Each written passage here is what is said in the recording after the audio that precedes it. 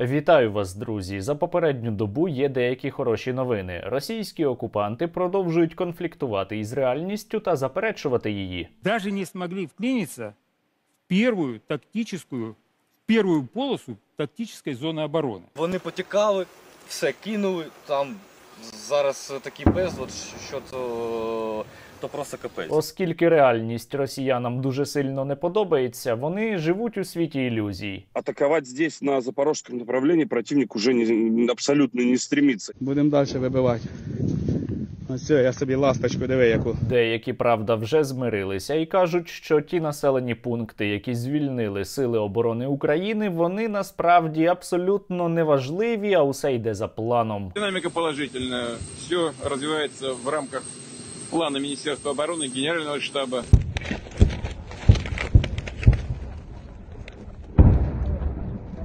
Український прапор повертається саме туди, де він і має бути, на українську землю. І я впевнений, рано чи пізно він майорітиме над кожним українським містом, селищем чи селом. Але росіянам точно не варто ні за що переживати. Якщо що, їх врятують китайці. Не Процесс. отказывайтесь Это процесс. Это от пары, тройки, десятки миллионов китайских солдат. Сейчас бы прям то, что надо. Одразу видно, що російська армія і справді так звана друга армія світу. Саме тому їй потрібна допомога від китайської армії. Напрям, про який ми сьогодні з вами будемо говорити, це район Великої Новосілки Донецької області. І для розуміння це трішечки західніше від Вугледара. Пропагандисти намагаються росіян переконати, що, начебто, сили оборони України на тому напрямку не відбили у росіян взагалі жодної позиції і нічого такого там не відбувається. Собственно говоря, те демонстрации, которые они провели на Временском выступе, не взяв ни одной, подчеркиваю, ни одной значимой позиции, говорят о том, что ничего серьезного здесь на самом деле не происходило. Учора 68-ма бригада збройних сил України показала, як там абсолютно нічого не відбувається, і виклала заяву та відео про звільнення села Благодатне. Виганяємо з нашої рідної землі ворога. Це самі приємніші відчуття. Україна переможе, Україна понад усе. Росіяни спочатку у це не повірили та стали заперечувати цю інформацію, але пізніше заступниця міністра оборони України Маляр вийшла із заявою про те, що Збройні сили України звільнили село Благодатне та Макарівка. Але і це не все. 10 червня, 7-й окремий батальйон Удар Рейд 129-ї бригади звільнив населений пункт Нескучне. У нескучному росіянам дуже сильно не пощастило, а тим, яким пощастило вижити, довелося плакати. Мы сейчас силами трех групп выгнали две с половиной роты из населенного пункта, при том, что вы были крепко укреплены. Вже сьогодні вранці 35-та бригада морської піхоти заявила про звільнення села Сторожеве у Донецькій області. Слава Україні! Героям слава! Слава морській піхоті! Слава, слава, слава! Ну а бригада територіальної оборони Запорізької області повідомила буквально от півгодини тому про те, що було звільнено і село Новодарівка Донецької області. Росіянам якось дуже тривожно. Дальше как бы тактически развить это наступление, выйти на трассу Донецк-Мариуполь. А, В принципе, это для них будет, конечно, такой и пиар, и тактический результат серьезный. Проте не втрачають оптимізму, як завжди, кадирівці. Вони розповідають, власне, як завжди, як і у будь-якій ситуації, що у них усе під контролем. Поэтому на данный момент ситуация абсолютно подконтрольная. Ничего страшного не происходит.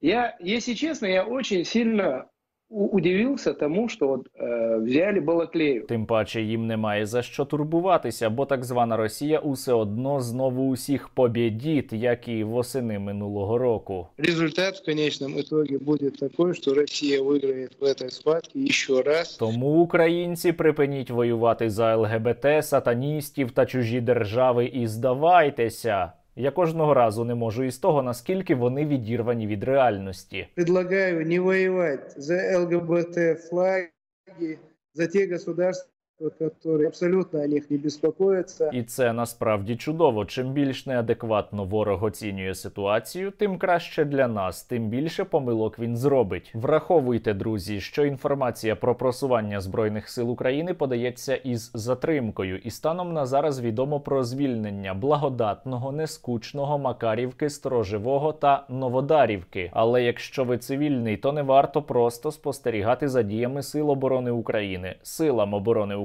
необхідно допомагати. Разом з тим, друзі, я закликаю вас поки ще утриматись від ейфорії щодо хороших новин від збройних сил України і ще більше допомагати українській армії і ніколи не забувати, яку високу ціну ми платимо за звільнення наших людей та наших територій. Я переконаний, що Україна буде уся вільною і незалежною, але іще треба буде дуже багато для цього зробити, бо і ворог у нас сильний, хоча і дещо самовпевнений. По моим оценкам, уже к середине июля вариантов у противника просто не будет. Ну що ж, повернімося до цього питання у середині липня. Тим часом на так званій Росії посилюється протистояння між міністерством війни та Вагнером. Як ви пам'ятаєте, учора міністерство війни заявило, що усі добровольчі формування на так званій Росії, включно із ЧВК Вагнер, мають перейти під контроль міністерства війни так званої Росії до 1 липня. Документом определено подписание добровольческими отрядами до 1 июля этого года контрактов с Министерством обороны Российской Федерации. Як і очікувалось, ватажок вагнерівців Пригожин почав бунтувати і сказав, що він не буде переходити під підпорядкування Шойгу. Те приказы и указы, которые формирует Шойгу, они распространяются на сотрудников Министерства обороны и на военнослужащих. ЧВК «Вагнер» не будет подписывать никаких контрактов с Шойгу. Фактично, це означає, що він або має взагалі забути про свою участь у війні проти України, або він має іти на відкритий збройний конфлікт із міністерством війни, і це прекрасно. А іще краще те, що одночасно із заявою Пригожина кадирівці показово підписали контракти із міністерством війни. Будем служить России и побеждать. Оце, до речі, казав той самий кадирівець, який раніше Пригожину погрожував Женя, ты не понимаешь, ты не должен понимать. Если тебе что-то непонятно, ты в любое время можешь связаться, обозначить место, время, и мы тебе объясним, что тебе непонятно. Будемо стежити за розвитком подій. Вагнерівці також учора видали нову заяву щодо їхнього попереднього конфлікту із комбригом вже колишнім 72-ї бригади збройних сил так званої Росії. Также был обстрелян Урал, перевозивший боеприпасы.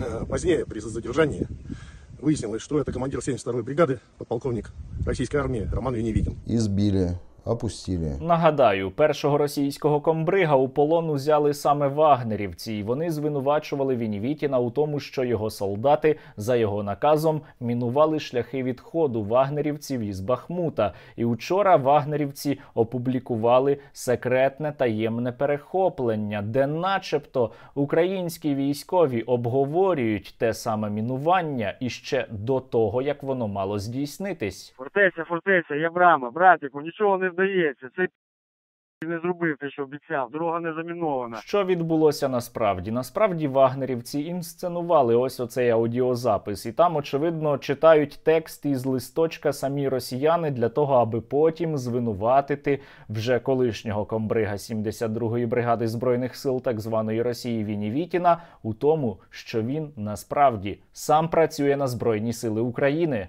Последовало э, предложение от Легиона Свободы России с целью его обмена на российских военнопленных. Задумайтесь, с какой целью им обменивать Веневитина на российских же военнопленных?